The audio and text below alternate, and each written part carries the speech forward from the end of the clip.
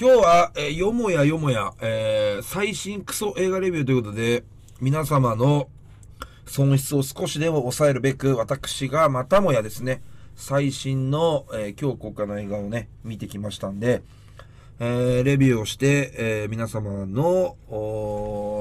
損害をね、食い止めたいなと思いますけどもね。もうなんかだんだん頭痛くなってきたね。うん、もうなんか分かってんだもん、最初から。もう先に一つ言いますけど、パンフレットが一番怖いですね。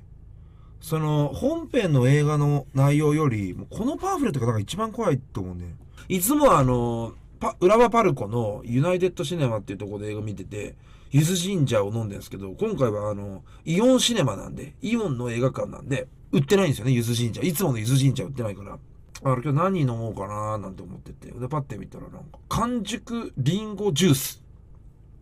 完熟リンゴジュースみたいな売ってて、まあそれもなんかソーダ系なんですけど、リンゴの。なんか蜂蜜が入ってるみたいな。蜂蜜ゼリーが入ってる完熟リンゴジュースみたいな。500円するんですよ。高っみたいな。パンフレットと同じ値段する。このパンフレットも500円なんで、2つ合わせたら1000円するんですよ。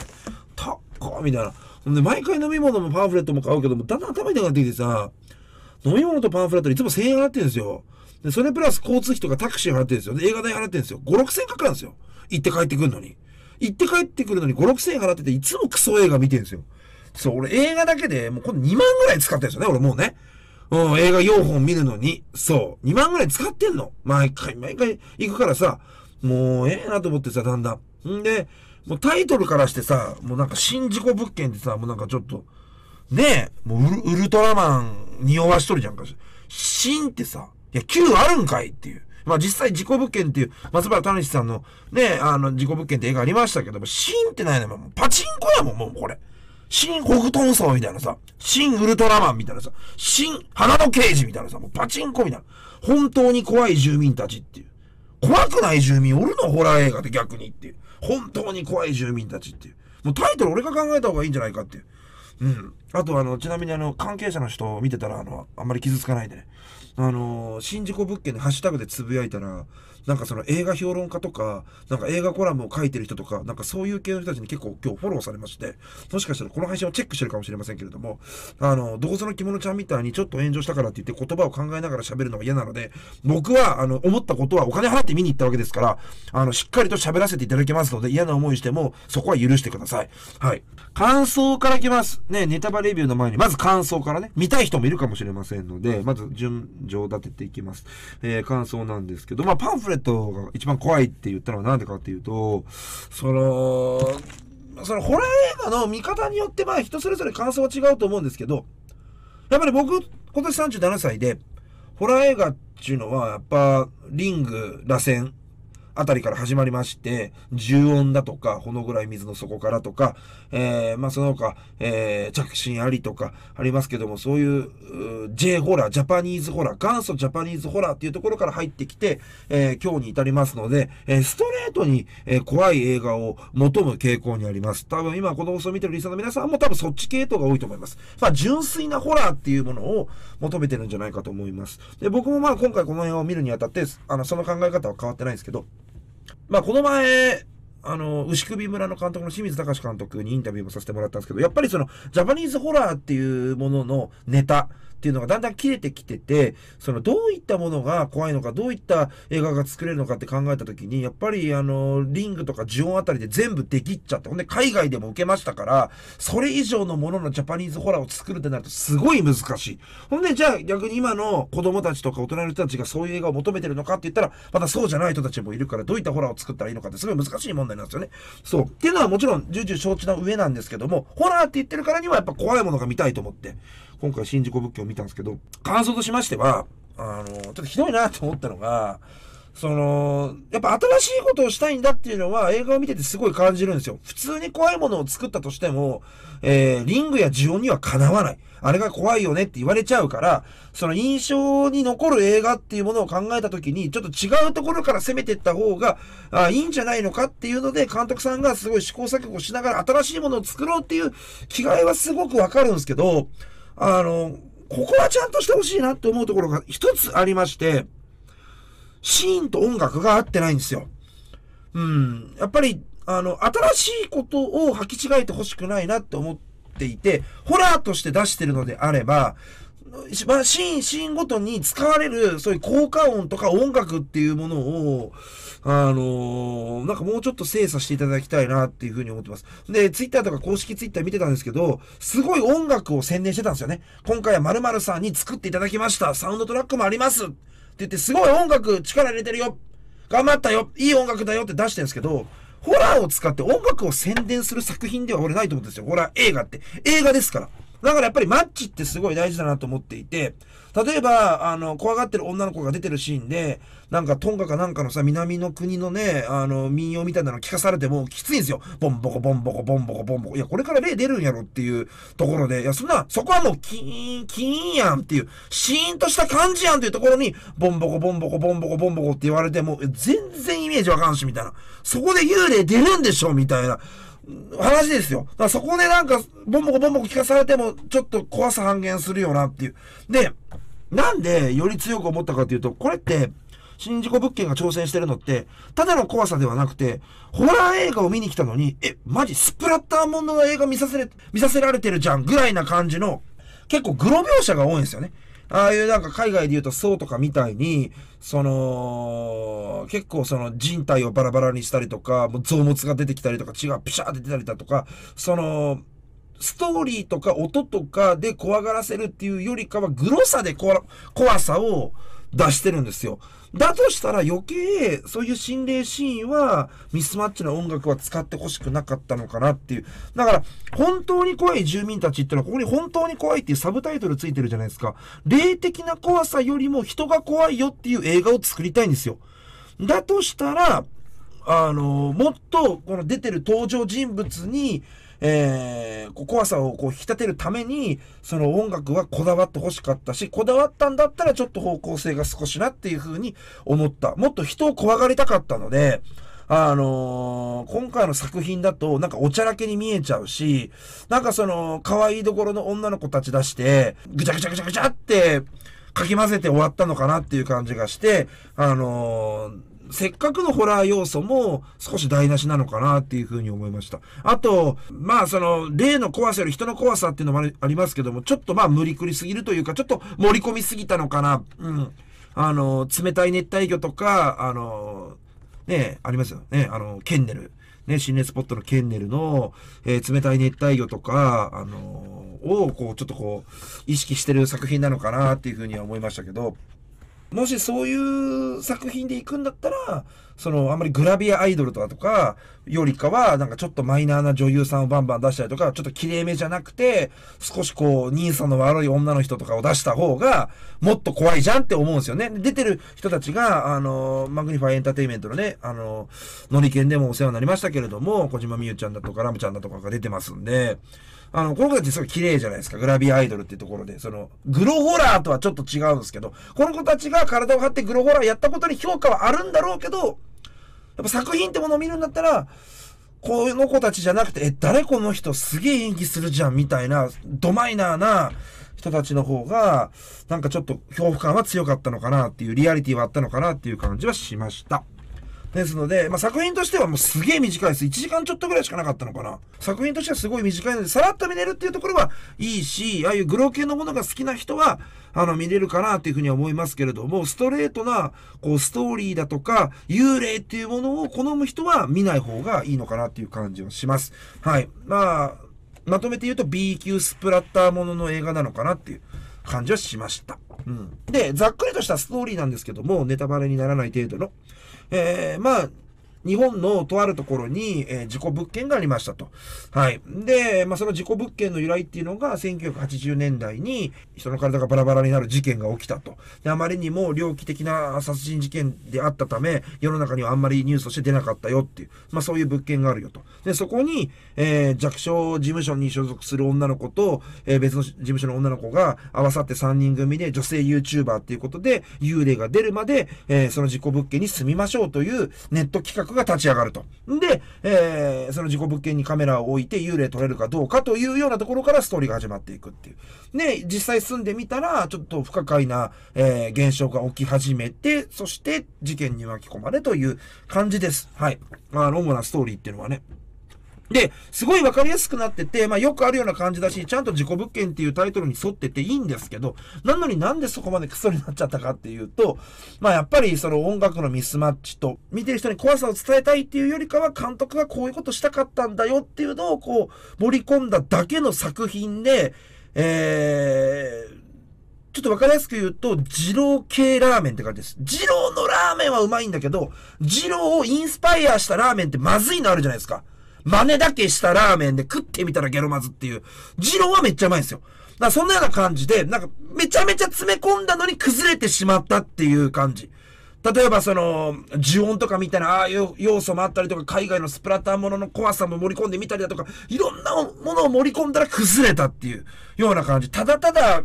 恋だけ、そう、恋だけかなっていうのがあるかな。うん。ペラッとこうね、パンフレットをめくってみると、新しい映画だよ、どうのこうのって言うけど、まあ、いろんなね、著名な方々とかがこうって寄せてるんですよね、コメントをね。新しいだろう、なんだろうって言いますけど。例えば皆さんがなんかご飯を食べた時に、あの、仕事でご飯を食べて食レビューしてくださいって言われた時に、なんか美味しくないなと思った時になんてレビューします？新しい味ですねって言うじゃないですか。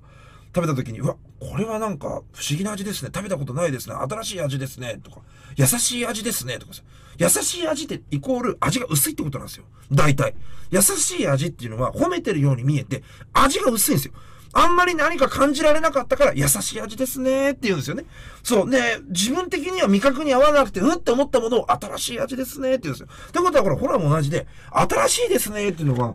要するにわけわからんっていう ね、うん？みたいなのも含まれてるんじゃないのかなと思ってるんですよね。だけど、あのー、仕事で、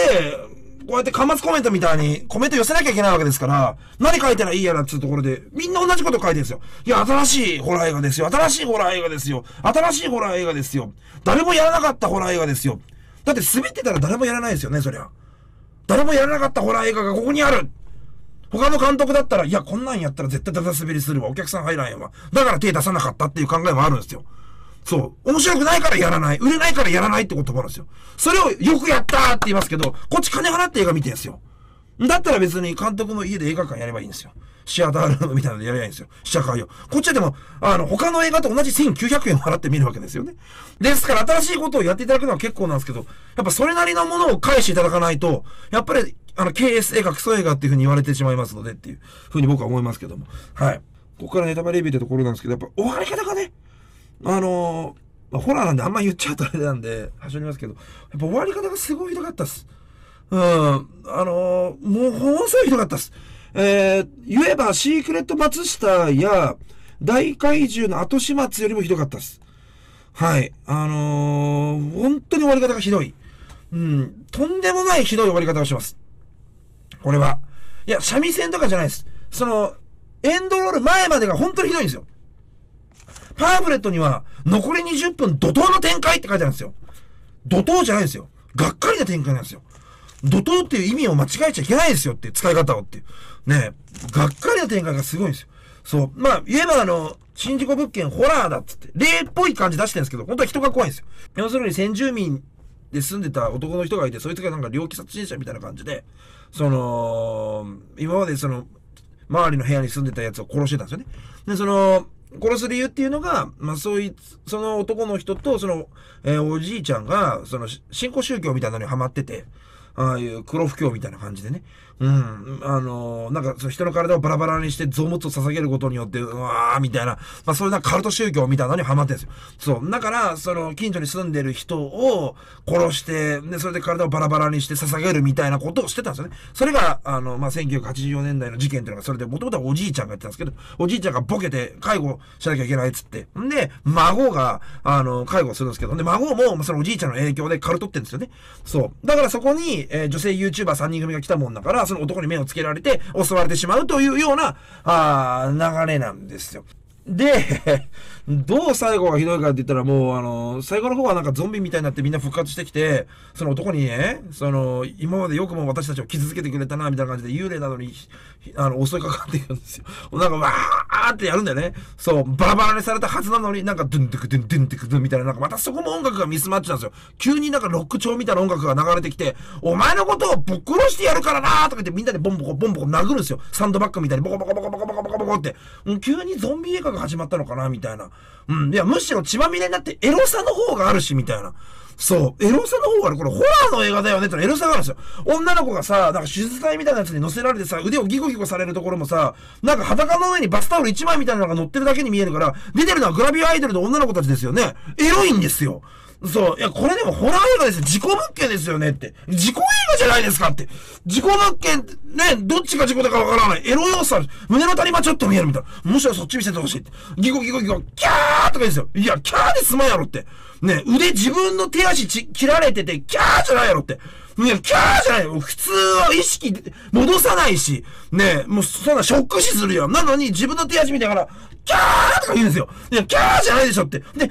自分の手足見たから、キャーって言ったら、その、キャーって目覚めた別の女の子が風呂場から血まみれになりながら、キャーって目覚めるんですよ。で、キャーにキャーで許さないわみたいな、私の友達のまるまるちゃんをそんなことしやがってとか男にカウンターパンチバーンってなるんですよ。男がベーンって殴られるんですよ。えってとかなるんですよ。ね、ふざけんじゃないとか言って。ほんで、あ、くそとか言って、で、男はね、これはまずいことになったとかってバーって逃げ出すんですね。で、逃げだ、家からとって逃げ出すんだけど、なんか家の周りで幽霊見えるようになるんですよ。で、幽霊見えるようになって、え、なんで幽霊が見えるんだって言ったら、首からずっとぶら下げてたネックレスがちぎれてなくなっちゃったんですよね。そのネックレスっていうのが、なんかその幽霊とか怨霊とかを寄せ付けない、なんかそういう魔法のリングみたいな役割をしてたんです。そのま、魔法のリングがその女の子ともつれてる間にブチンってちぎれちゃったもんだから、幽霊が見えるようになっちゃったんですよ。今までは幽霊が見えなかったから、それでギコギコギコギコとか言って、猟奇殺人やってたんですけど、ちぎれちゃったもんだから現実を知ってしまって、うわー霊がいるキャーとかなって、で、うわーとか言って、さっき逃げてきた部屋にもう一回戻るんですよ。で、うわーって部屋に戻ったら女の子が待ち構えていて、またパンチをドンって返すんですよ。ギャーってなるんですよ。で、痛えとかなるんですよ。いや、何それ？言って。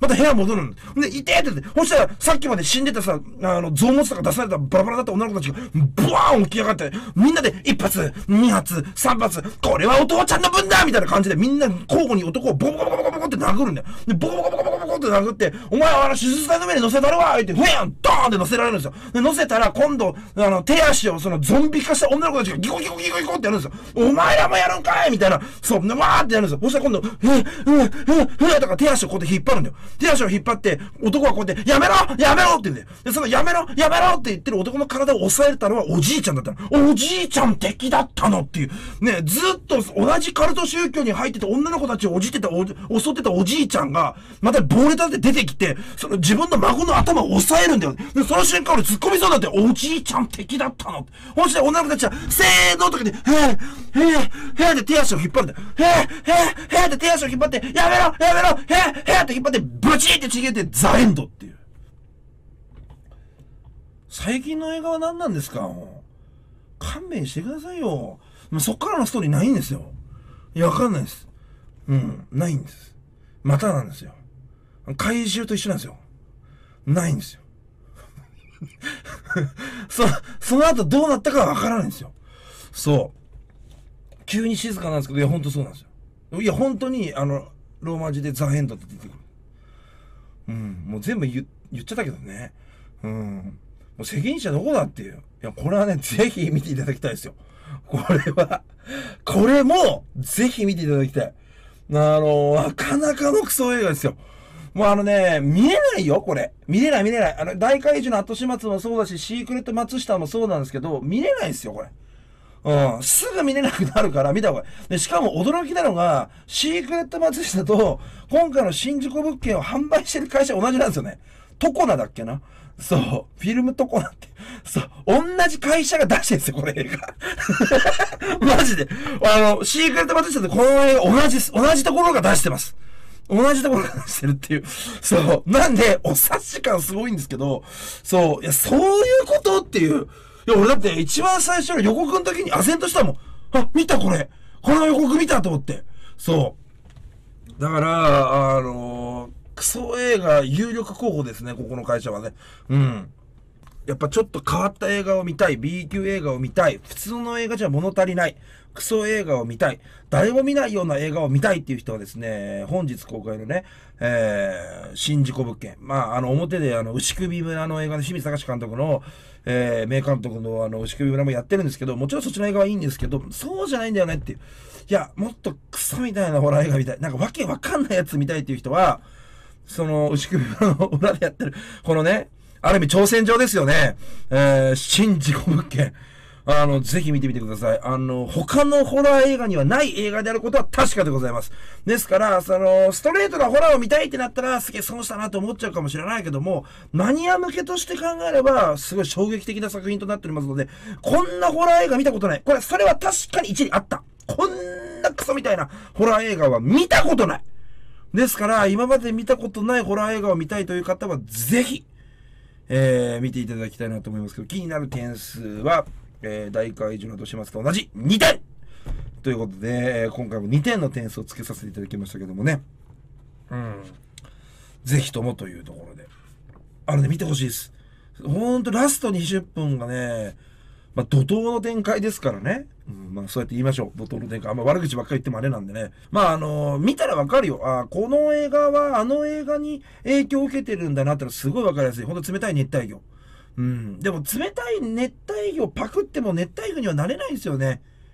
うん。やっぱ外来種ですよ。冷たい熱帯魚をパクっちゃってもね、真似してもね、やっぱ本家はなかなか超えらんないですよね。うん、やっぱりね。うん、似てるなーぐらいで終わっちゃうからね。そう。外来種ですよね。うん。だけど、この作品だったら、あの、ちょっとね、出演されてるグラビアアイドルの方々には申し訳ないですけどね、女優さんとか。このメンツよりもね、あのー、これからの卵のような、ちょっと人相の悪い女の子が出てた方が面白かったなっていうふうにも思いますしね。うん。あとは、その、ただでさえ短い映画の中で、無駄なシーンが多すぎっすね。半分以上。うん、なんかその YouTuber のその動画撮ってるシーンとかに15分ぐらいかける意味がわからないです。うん、まあ、あの、友情出演という形で、島田秀平さんが出られてるんですけども、そこのシーンとかをなんか、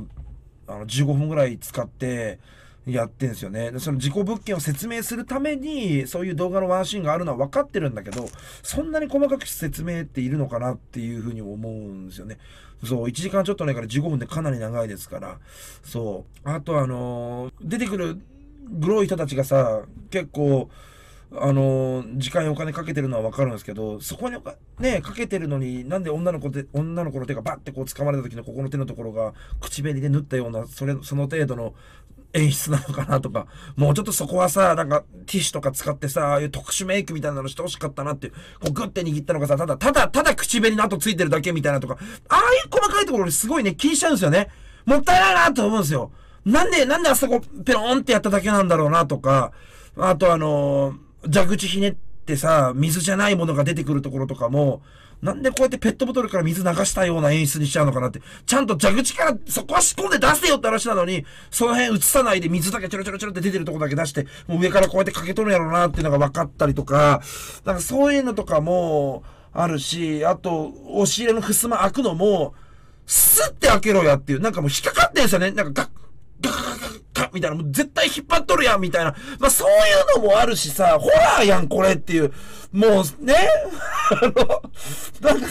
そういうのもあるしさ、あの、リングの呪いのビデオ出し、ねこう、呪いのビデオ感を出したかったんでしょうね。最初なんか、こんな変な呪いの動画がネットにあるんだよっていうのって見るんだけど、その呪いを出すのも、なんかさ、あの、昔のさ、あの VHS のさ、接続が悪いみたいな、ガガガガガガってやつなんだけど、それもなんか、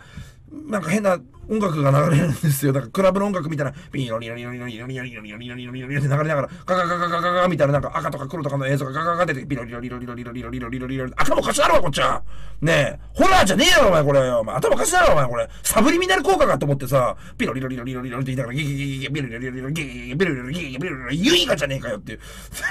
ほんとそんな感じでさ、もうずっと続くんですよ。だから、なんかさ、あの、か、監督っていう。うん。まあでもこんだけ話せるってことは印象にもすごい残ってるんで、そういう意味ではいい映画なのかもしれませんけどもね。うん。あのー、でもなんか癖にはなりますわ。あのー、もちろんこの新事故物件も松下も大怪獣もそうなんですけど、みんなが見ない映画をあえてお金を払って見るってちょっと癖になりますね。はい。なんでそういう癖が好きな人は、すごいいいと思いますけれども、なんか、あの、お金を払ったからって思う人は見ない方がいいと思います。まあ、ある意味、ね、悪く言えば捨てる気持ちで見に行ってみたら楽しいのかなとは思いますけどね。はい。まあ、感想は、あのー、ね、小島美羽ちゃんやラムちゃん可愛いなっていう いい演技するな、可愛いなっていう。うん。ホラーに合わねえなっていう。可愛すぎて合わねえなっていう。もうあの子たち擦れてるからさ、うん、いや、あの、合わねえなって。もっと怖がらんとな、みたいな。普通にテレビとか YouTube 出てる感じでそのままおるから、そう、いや、なんかあの、ね、可愛いなっていうね、感じなんですけどね。私はいつまでもやりますのでよろしくお願いします。僕にとって配信は遊びじゃねえ。お疲れ様でした。Thank you! です